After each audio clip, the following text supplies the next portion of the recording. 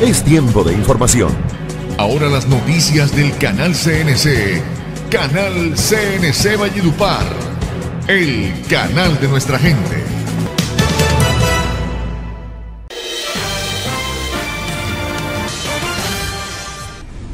Cuando se desplazaba en un vehículo por la vía El Banco Magdalena, el personero de Chimichagua César Juan Daniel Parra fue víctima de un atentado a bala por motorizados. Pues eh, veníamos llegando al municipio de Tamalameque Dos sujetos en moto eh, se acercaron por el lado donde el chofer se iba conduciendo y hicieron dos disparos gracias a la oportuna reacción del escolta dentro del vehículo hacia afuera generó los disparos pues los sujetos dejaron de, seguirnos no afortunadamente no tenemos lesiones mayores solo algunas lesiones que tengo en el cuerpo por, cortaduras del vidrio en la mano izquierda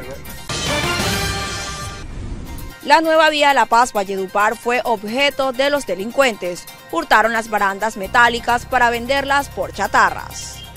Nunca me imaginé que ese iba a ser el precio que íbamos a tener nosotros por haber encarado todas las dificultades de todo tipo para darnos el gusto de que en muy poco tiempo podrá repetirse en Valledupar que una obra hecha exclusivamente por los ciudadanos pudiera ser objeto de este despropósito irracional. No tengo cómo calificarlo. Me duele en el alma, me siento profundamente triste. A partir de las 5 de la tarde de hoy viernes, la gobernación del departamento de Cesar realizará el acto de inicio de obra del Parque de la Vida Bosque Seco Tropical. La abuela de un joven le pide a la Armada Nacional que le realicen un examen mental a su nieto, ya que este se encuentra prestando el servicio militar y supuestamente padece de una enfermedad psiquiatra. Sobre de que mi nieto se fue para la Marina, para la Armada en Coveña, Sucre, él se fue porque él es un niño bipolar, tiene problemas psiquiátricos. Aquí tengo las muestras.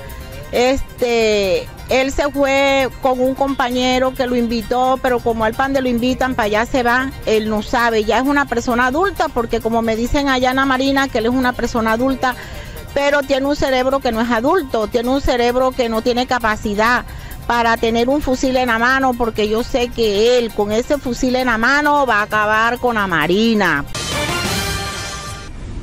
Son múltiples los factores para desarrollar riesgos cardiovasculares. Por eso dialogamos con un cardiólogo del Instituto Cardiovascular del Cesar para conocer las principales causas.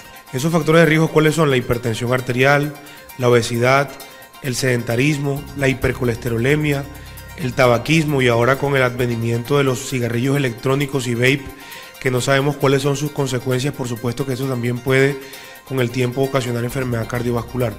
Asimismo la diabetes, eh, tener el colesterol elevado y por eso es importante conocer nuestros números. El hecho de conocer nuestros números implica que nosotros sepamos cómo tenemos el colesterol, cómo tenemos el azúcar, cómo tenemos la tensión arterial, para de esta manera prevenir eventos cardiovasculares como el infarto o como una isquemia cerebral o como cualquier problema cardiovascular.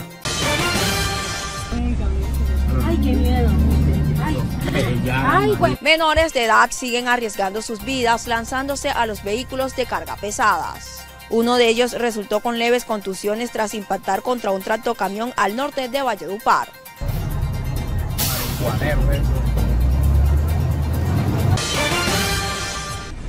La sección de primera instancia de casos de reconocimiento de la JEP se reunió en Valledupar con el gobernador del Cesar, Andrés Mesa, para explorar mecanismos de articulación con ese departamento de cara a la imposición de sanciones propias que adelantará la JEP. Dale trompa, eso, dale trompa, para que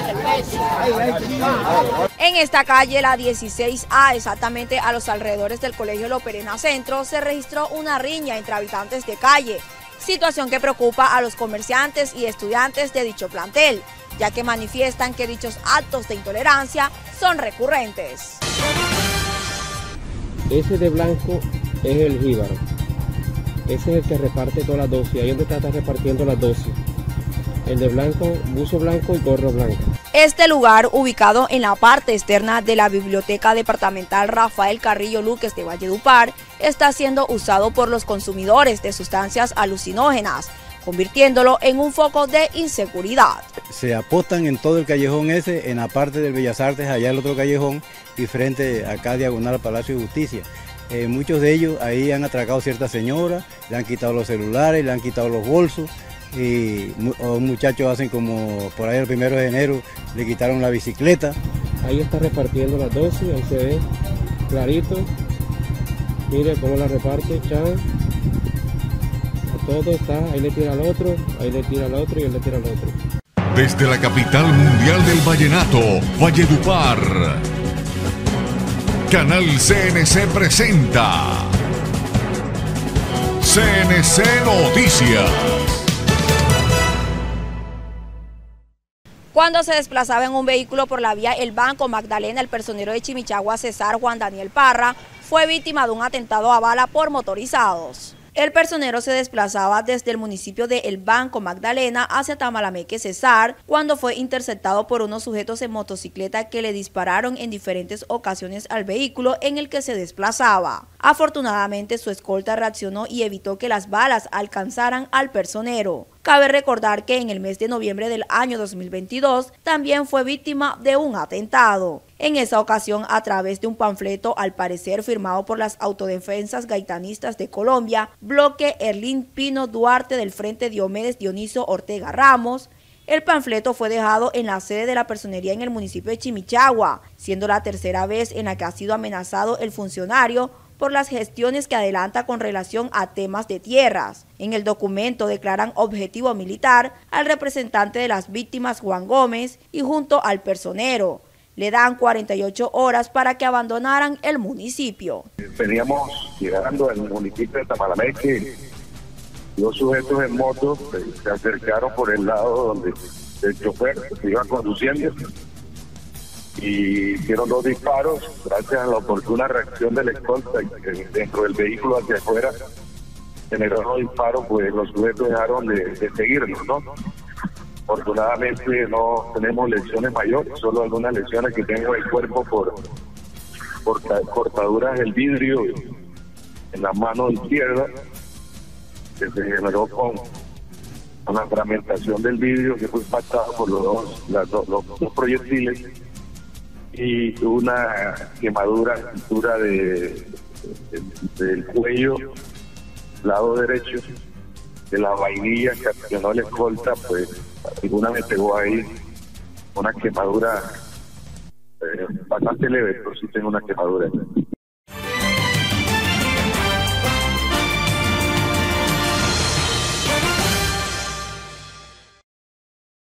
Esta gente salen de aquí bajo los efectos de las sustancias alucinógenas y salen a hacer su diablura. Y el CAI está ahí mismito. El CAI no está ni a 200 metros, el CAI de la policía de la gobernación. Y ellos están ahí fresco consumiendo y, y vendiendo su vaina. Este lugar, ubicado en la parte externa de la Biblioteca Departamental Rafael Carrillo Luques de Valledupar, está siendo usado por los consumidores de sustancias alucinógenas, convirtiéndolo en un foco de inseguridad. El de blanco, buzo blanco y gorro blanco. Ese es el que, reparte la dosis. Ya viene del callejón de acá, el callejón que queda contigo a la Bellas Artes y, al, Palacio, al Palacio de Justicia y al Archivo Departamental. Usted sabe que ese callejoncito por ahí es oscuro. Ahí está repartiendo las dosis, ahí se ve clarito. Mire cómo la reparte, Chan. A todo está, ahí le tira al otro, ahí le tira al otro y él le tira al otro. Mire, lo, preocupante de ese callejón de la Biblioteca Departamental Rafael Carrillo Luque es, esto es increíble. Ahí hay una cantidad de drogaditos que se, apostan en todo el callejón ese, en la parte del Bellas Artes, allá el otro callejón, y frente acá diagonal al Palacio de Justicia. Eh, muchos de ellos ahí han atracado ciertas señoras, le han quitado los celulares, le han quitado los bolsos, y muchachos hacen como por ahí el primero de enero le quitaron la bicicleta, y entonces ahí eso está, eso, necesita mucha vigilancia. Y además los drogaditos cuando ya están pasados del consumo de, de la droga, eh, coge y se acuestan ahí en los andenes, se arropan y hay personas que vienen desprevenidas y en, eh, en, ese momento cuando la persona, la mayoría de mujeres, que viene una mujer con su bolso, su celular y una vez se levantan y los atracan. Pero es que también hay un problema, es que todo no es la policía. El CAI está a unos metros, pero el policía no es adivino y eso que ahí van a atracar. Ahí lo que hay que poner un agente aquí o otro allá que a, esos tipos que están ahí sacarlo. Mire lo que está pasando en los parques. El ejemplo donde yo vivo allá el manantial, allá después de 10, 11 de la noche hay, hay una cantidad de drogaditos.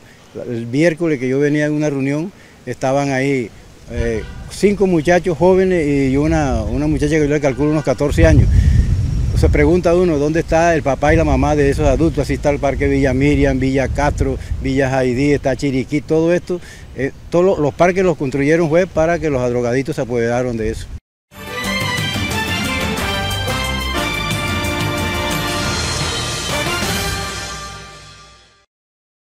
La nueva vía La Paz Valledupar fue objeto de los delincuentes. Hurtaron las barandas metálicas para venderlas por chatarras. Pues te cuento que esta madrugada cuando vi las, las fotos se me nublaron las pupilas, como quien dice, de dolor. No entiendo cómo una obra hecha con tanta eh, disciplina mística de parte de todos mis compañeros bebedores, de los ciudadanos en general, haya sido producto de un desmantelamiento en una forma tan rápida. Nunca me imaginé que ese iba a ser el precio que íbamos a tener nosotros por haber encarado todas las dificultades de todo tipo para darnos el gusto de que muy poco tiempo podrá repetirse en Valledupar que una obra hecha exclusivamente por los ciudadanos pudiera ser objeto de este despropósito irracional. No tengo cómo calificarlo. Me duele en el alma, me siento profundamente triste. Cuando yo vi eso que me llamaron, entré en una depresión que no he podido prácticamente superarla. Ojalá esos bandidos cayeran. Y lo más seguro es que de pronto los cogen, porque seguro estoy que eso está ya de venta en, en una sala de repuesto. Y aquí es muy fácil en Valledupar, no es sino llegar a esos almacenes de repuesto de los tales segundazos y en alguno de ellos debe estar. Y que eso tenga un reproche judicial ejemplarizante. Es que es un daño no solamente social, sino económico al envía a todos nosotros. En conclusión, estoy muy triste. Nunca me imaginé que la ciudadanía nos iba a responder de esa manera. Es de anotar que el día de hoy se realizó jornada pedagógica en la ruta Nueva La Paz, Puente Rafael Escalón a Valledupar, iniciativa de Invías, en compañía de actores institucionales de tránsito y transporte, como es Tránsito Municipal de La Paz, Hidrita Cesar. Realizar este tipo de campaña de prevención en seguridad vial y movilidad ayudan a superar los problemas en materia de transitabilidad vial en las vías, dijo Ona María Zuleta, directora territorial de Invías Cesar. Señor Evelio, en el sitio también se están, eh, se están registrando varios hurtos a las personas que transitan por el sector, exactamente por el puente. ¿Qué tienen que hacer las autoridades, digamos, municipales para que estos hechos, tanto como el robo de las barandas, de las defensas y los robos a personas, no se sigan registrando? Tienen que multiplicarse. Mira, si no podemos correr la misma suerte del puente sobre el río Magdalena, del puente Pumarejo que lo han desvalijado en una forma tal que con el tiempo ya no se podrá utilizar. Aquí hay que aceptar el resto de esa delincuencia y asumir las responsabilidades que le compete como vocero de las fuerzas legítimas del Estado. Yo invito a los alcaldes, al alcalde de Valledupar, nuestro alcalde, al alcalde de La Paz, que acometan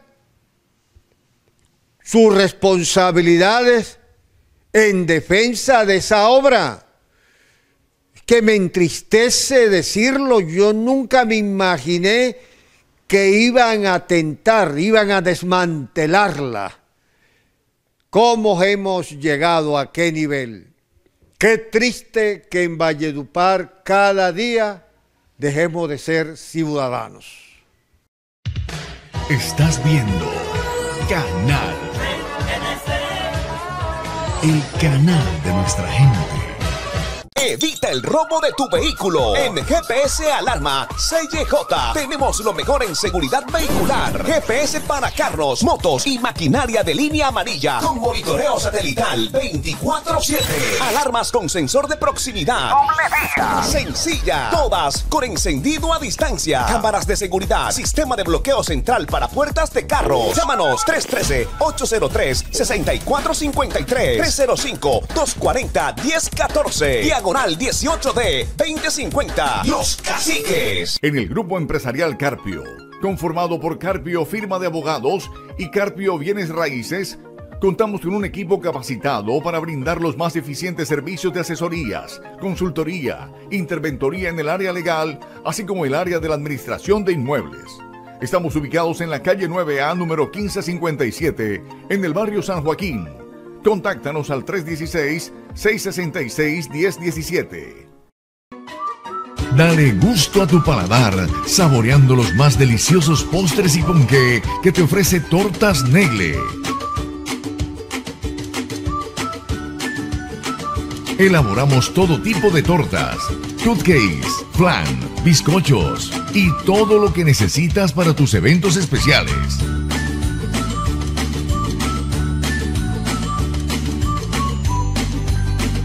Ven y disfruta nuestro café de origen.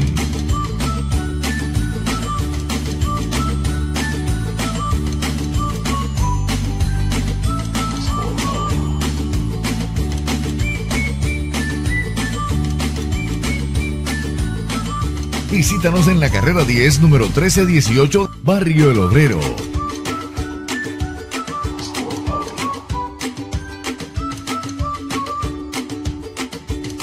Para tus pedidos, llámanos al 314-310-1414 y 588-8639.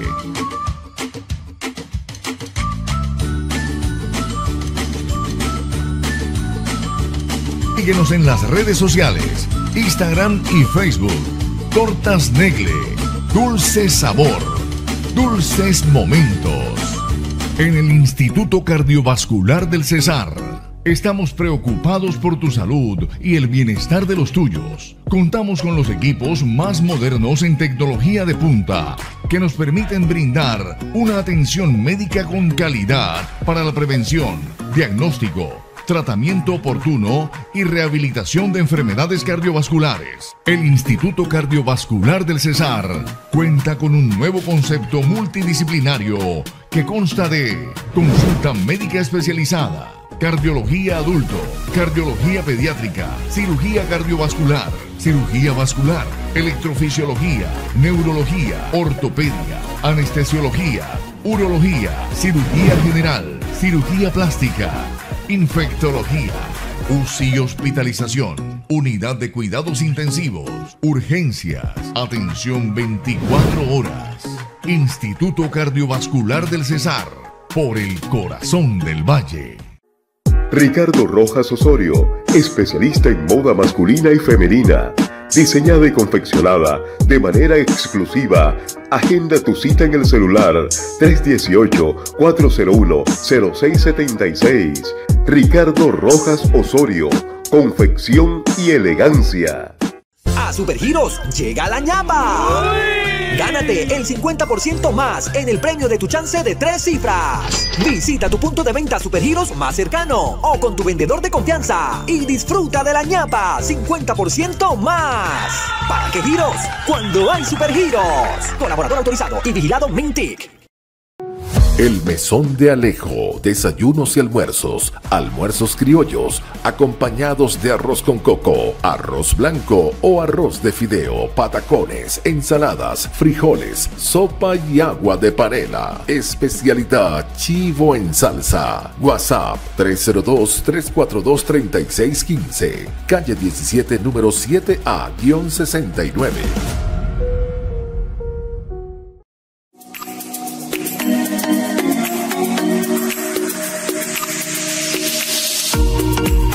La Paz ya cuenta con un almacén, con un super almacén. Promociones El Poderoso. Ropa de marca, camisetas para él y para ella. Ah, y para los niños también. Para el amor tenemos peluches, plantas bonsai, perfumería y todo para la belleza. Promociones El Poderoso, frente al Parque de las Almojábanas, La Paz, Cesar. Estás viendo Canal. El canal de nuestra gente.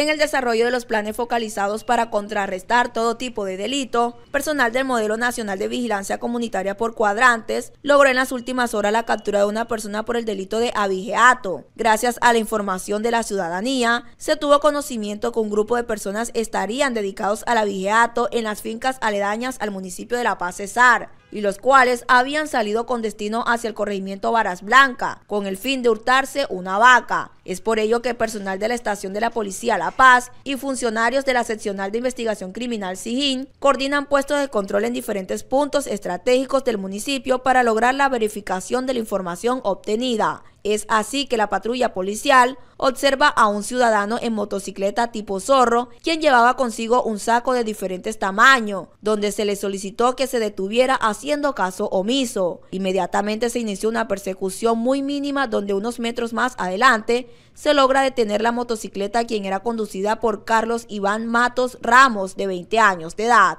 se le practica un registro a personas y posteriormente a la carga que transportaba, donde se pudo observar piel, patas, costillas y otras partes diferentes del bovino. Es de anotar que este sujeto manifestó que la vaca provenía de una finca que se encuentra después de la estación de servicio, donde se logró contactar con la señora Ana Karina, propietaria de la finca Villa Fabiola, y fue el sitio donde se produjo el sacrificio.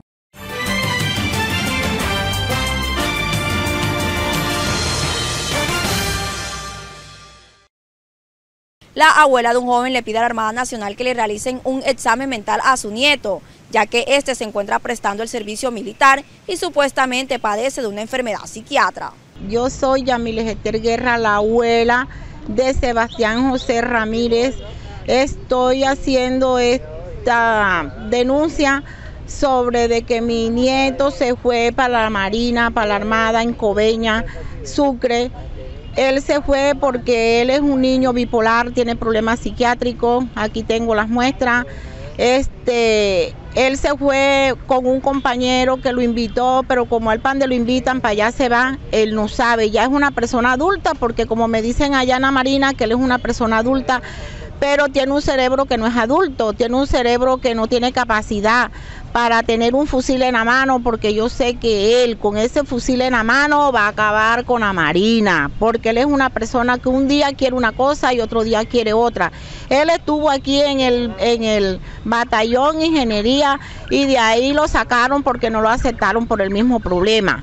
Lo fuimos a buscar a los cuatro días porque dijo que se quería venir, que lo fueran a buscar y que lo fueran a buscar. Después estuvo aquí en, en la policía para estudiar policía bachiller y tampoco lo aceptaron por el mismo problema. Aquí con un compañero se le metió el tema de que vente conmigo, vente conmigo, se lo ha llevado, se lo llevó para Sucre, por allá por la Marina. No sabíamos de él, teníamos 20 días que no sabíamos de él. Ahí nos llamó, no sé dónde encontró cómo llamarnos, nos llamó y nos dijo que él tenía, había tenido una neumonía porque los tiraban al mar así enfermos, asoleados. Inclusive dijo que le mandaran para comer porque allá no les daban para Pero, comer. ¿Qué hay que es cierto que él intentó fugarse y hubo problemas? Él nos dijo que estaba enfermo, que estaba aburrido, que estaba nervioso, que se quería venir y que había tratado fugarse con otros compañeros y que les hicieron unos tiros para matar. ¿Usted va para la personería aquí en Valledupar? Sí, estoy en ese caso para ver si me colaboran, si me ayudan. Yo soy la abuelita de él, la mamá es madre, cabeza de hogar, tiene esos dos niños, no tiene padre. Este, yo quiero que me colaboren, que me ayuden para ver si hablan con este señor de la Marina. Él, yo hablé con él ayer yo hablé con él ayer y lo que me dijo fue que allá se iba a quedar, que ya no lo podían entregar. Él no ha jurado bandera, que no lo iba a entregar, porque no, porque él era un hombre que estaba bien, él no lo conoce mentalmente, el que lo conoce soy yo que he sido la que lo ha criado y sé cómo es. Cuando él estaba en el colegio, este me lo dieron del colegio. Él le decía a la mamá, como no vayas al colegio, te pego. Y le decía, yo voy, pero lo voy a aprender. Voy a aprender el colegio con todo el profesor y todos los alumnos.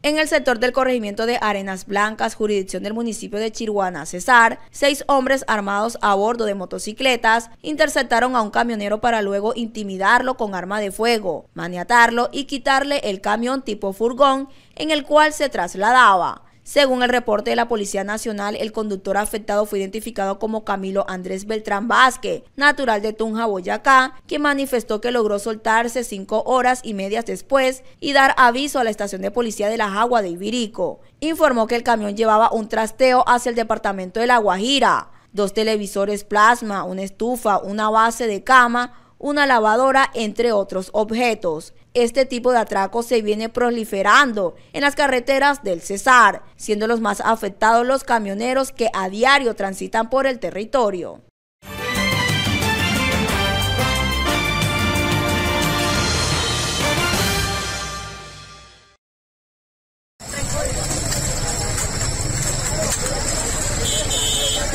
Dos mujeres y un hombre resultaron heridos la tarde de ayer al registrarse un choque entre una camioneta y una motocicleta en la carrera 11A con calle 13A, barrio obrero de Valledupar, cuyas causas son investigadas por las autoridades. Ana Chamorro, Paola Araujo y el acompañante, de quien se desconoce la identidad, se trasladaban en una motocicleta cuando fueron embestidos por una camioneta Ford de color gris, dejando a los tres ocupantes malheridos, por lo que fueron trasladados por las ambulancias hasta la clínica Erasmo de esta capital. Según algunos testigos del hecho, presuntamente la motocicleta ignoró el pare y fue impactada por la camioneta, mientras otros aseguran que este vehículo se movilizaba en exceso de velocidad. Sin embargo, serán las autoridades las que determinen las responsabilidades. Sí, yo lo vi ahí, en la, el muchacho venía en la moto, la camioneta pasó en una hoja y se llevó, la muchacha la brincó y pegó en, en el muro, y la otra quedó empezada y una vez ahí con el motocicleta. Gracias.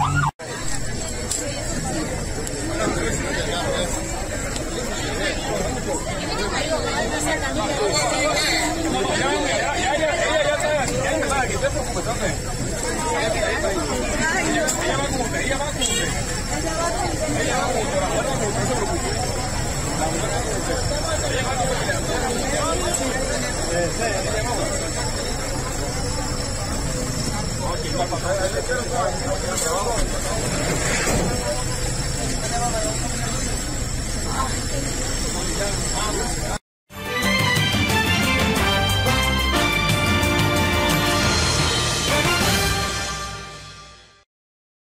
El dulce sabor de Tortas Negle llega a La Paz este sábado y la comunidad tendrá la oportunidad de deleitarse con los mejores productos de repostería a partir de las 9 de la mañana en la plazoleta principal. El dulce sabor de Tortas Negle llega a La Paz. Así es, para todos nuestros clientes que se encuentran en el municipio de La Paz, nuestro Negle Móvil los estará visitando este sábado 25 de febrero para que vivan un dulce sabor y un dulce momento con todos nuestros productos. Así que si quieres disfrutar de productos específicos para ese día, puedes llamarnos a nuestro PBX 588-5101 y nuestro Negle móvil te llevará este producto hasta tu municipio.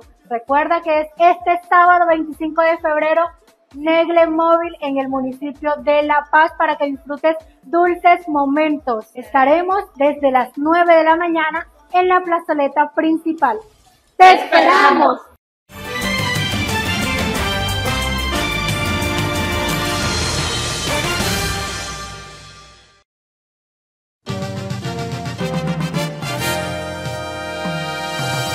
Son múltiples los factores para desarrollar riesgos cardiovasculares. Por eso dialogamos con un cardiólogo del Instituto Cardiovascular del Cesar para conocer las principales causas. Bueno, mira, eh, lastimosamente sí y lamentablemente hemos tenido pérdidas de personas jóvenes o adultos jóvenes en, los últimos dos o tres meses aquí en la ciudad de Valledupar. Eh, eso implica o eso se debe básicamente a que la enfermedad cardiovascular es la principal causa de muerte a nivel mundial. Y dentro de la enfermedad cardiovascular existen factores de riesgo para tener enfermedad cardiovascular. Esos factores de riesgo, ¿cuáles son? La hipertensión arterial, la obesidad, el sedentarismo, la hipercolesterolemia, el tabaquismo y ahora con el advenimiento de los cigarrillos electrónicos y vape, que no sabemos cuáles son sus consecuencias, por supuesto que eso también puede con el tiempo ocasionar enfermedad cardiovascular. Asimismo la diabetes, eh, tener el colesterol elevado y por eso es importante conocer nuestros números. El hecho de conocer nuestros números implica que nosotros sepamos cómo tenemos el colesterol, cómo tenemos el azúcar, cómo tenemos la tensión arterial, para de esta manera prevenir eventos cardiovasculares como el infarto o como una isquemia cerebral o como cualquier problema cardiovascular. Llevar hábitos de vida saludable y eso por supuesto implica uno, eh, realizar actividad física al menos 150 minutos semanales que deben ser repartidos tres veces a la semana. Dos, una dieta balanceada. Entonces, la invitación a comer más verdura. Lastimosamente, nuestra idiosincrasia de región caribe nos lleva a comer mucha comida frita, mucha comida condimentada y muy preparada. Entonces, preferiblemente comer pescado, eh, que es rico en omega 3 y evita de que alguna eh, arteria del corazón se tape. Desde niños siempre debemos inculcar eh, un hábito o hábitos de alimentación saludable. Entonces, lastimosamente nosotros creemos o tenemos la idiosincrasia de que por darle mucha comida a nuestro hijo le estamos haciendo bien y verlos gorditos es verlos bien y lastimosamente no. Tener un niño obeso, por supuesto que con el tiempo va a sufrir las consecuencias de diabetes, de hipertensión, de enfermedad coronaria. Entonces, importante recalcar desde niños y adolescentes hábitos de alimentación saludable. La muerte súbita no es más que la pérdida de los signos vitales y eso genera muerte en la persona, pérdida de la capacidad eléctrica del corazón. Causas de muerte súbita pueden existir muchísimas. Una de ellas es la enfermedad coronaria, que se tapa alguna arteria del corazón y eso ocasiona muerte súbita. Pero también existen otros tipos de cardiopatías que pueden generar muerte súbita. Por ejemplo, la cardiopatía hipertrófica, que es cuando el corazón tiene un pedazo grueso, específicamente el septum, y eso genera una arritmia ventricular y con eso lleva a muerte súbita. Pero también existen otras causas como alteraciones eléctricas, alteraciones congénitas, de ahí la importancia de hacerse por lo menos un chequeo cardiovascular para determinar cómo está eh, estructuralmente tu corazón, bien sea evaluando la parte arterial o bien sea evaluando la parte eléctrica. Eh, generalmente eh, la enfermedad coronaria avisa, pero en otras ocasiones no. Pero sí debemos tener en cuenta ciertos signos y síntomas como cuáles. El dolor en el pecho. Ahora, no todo dolor en el pecho es cardíaco. Eso hay que tenerlo muy presente. ¿Cómo son las características típicas del dolor en el pecho? Un dolor opresivo o nosotros le preguntamos al paciente, sientes como si te apretara el pecho, como si estuvieras atorado. Ese dolor generalmente se irradia al cuello o al miembro superior izquierdo. Se desencadena con la actividad física moderada y cede con el reposo. Y también se acompaña de síntomas como dificultad respiratoria, sudoración, sensación inminente de muerte. Eso es una angina típica. Cuando tengamos ese dolor, debemos correr inmediatamente al médico para que nos haga los exámenes pertinentes. En cuanto a la vacunación y la enfermedad cardiovascular, eh, no existe todavía un estudio científico que compruebe la relación causa-efecto de vacunación con infarto. Es más el beneficio que recibimos de vacunarnos por prevenir tantas muertes por COVID que el riesgo de no vacunarse. Eh, por ahora podemos decir que no existe un estudio científico que cause eh, relación, efecto entre COVID y muerte súbita por enfermedad cardiovascular, vacunación contra COVID. Este 22 de abril en la ciudad de Valledupar vamos a, a desarrollar un simposio regional de cardiología en conjunto con la Sociedad Colombiana de Cardiología y el capítulo de la mujer. Tenemos previsto una asistencia masiva de todo el personal médico de nuestra región. Y eso incluye no solamente el departamento del Cesar, sino la Guajira, el Magdalena y Bolívar. De esta manera queremos traer conferencistas muy buenos a nivel nacional y que son líderes en conocimiento de insuficiencia cardíaca, de amiloidosis, de enfermedad coronaria, de cirugía cardiovascular para darle un alto nivel académico a este simposio que desarrollaremos en conjunto con la sociedad y el Instituto Cardiovascular del Cesar.